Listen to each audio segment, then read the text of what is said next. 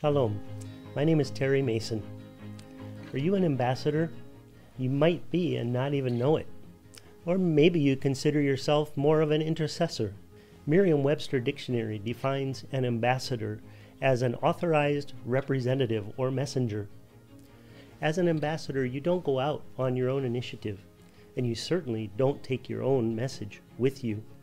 No, you go out as a representative of someone higher in rank and authority to yourself. And being an ambassador is a very high calling. The Jewish people take their calling as God's chosen people, a holy nation, very seriously. They realize that how people view their lives and behavior will clearly reflect on the God that they love and serve. They do everything they can to ensure Kiddush Hashem, the sanctification of God's name. They want their behavior to elevate God's character to the world around them. The opposite behavior is Chilul Hashem, the desecration of God's name, something that we should all try to avoid. As believers, we often self identify through terminology that we use or symbols that we wear. For instance, even the fish symbol on the back of our car. And we have to realize that that automatically makes us ambassadors for God's kingdom. The Apostle Peter, in his first letter, reminds us that we are now part of God's family. In 1 Peter 2 9, he says, We're a chosen generation, a royal priesthood, his own special people.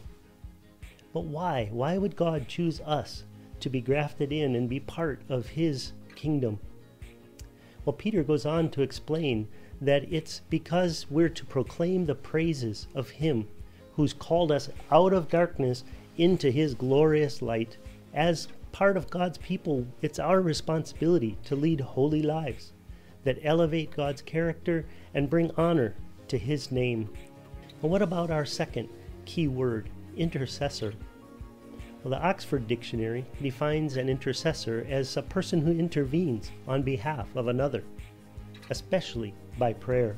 Psalm 2, verse 8, God is speaking and he says, Ask of me, and I will give you the nations as your inheritance.